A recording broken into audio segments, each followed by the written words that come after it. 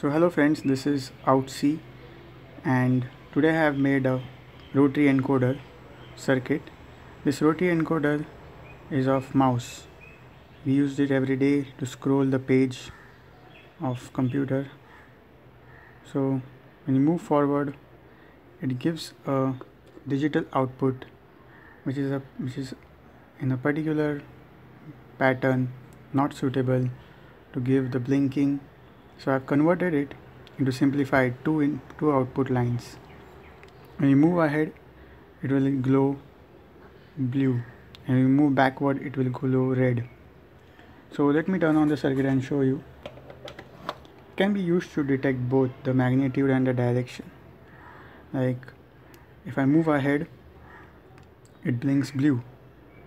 That means if I move ahead full revolution full one revolution it will blink 25 times blue.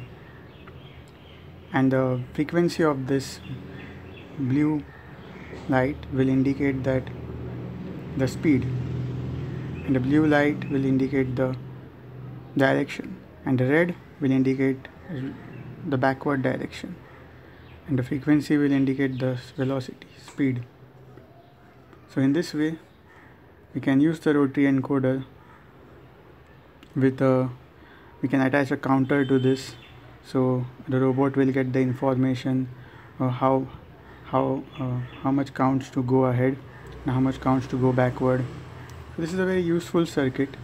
And hit the like button and subscribe to my channel if you want to learn this circuit.